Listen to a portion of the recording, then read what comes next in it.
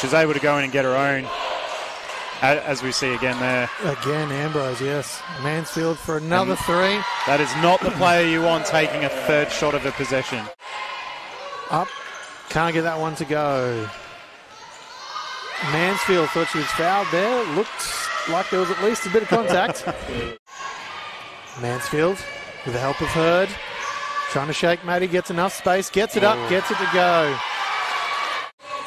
Mansfield with it. Maddie Woodford coming out to give pressure. Hurd comes with the screen. Back to Hurd. One, two, up, in.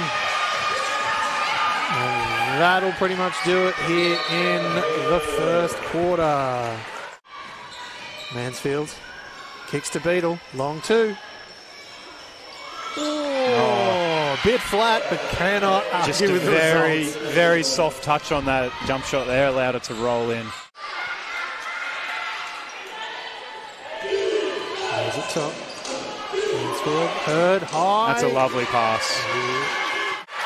Shades of Anthony Kopsika's last night up the coast. Same thing. Back to the basket almost.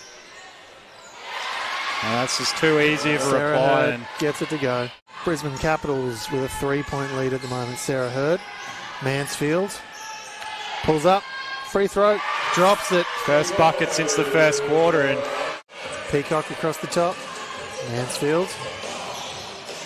Hannah Cameron closes the space. That's a lovely Ambrose pass. gets it up and in. and no timeout from Gold Coast. They're going to try and just push it up the floor here. Driving. Gonna get the foul. And oh, they're, they're going to gonna count, that. it. They're going to count that with continuation for Mansfield.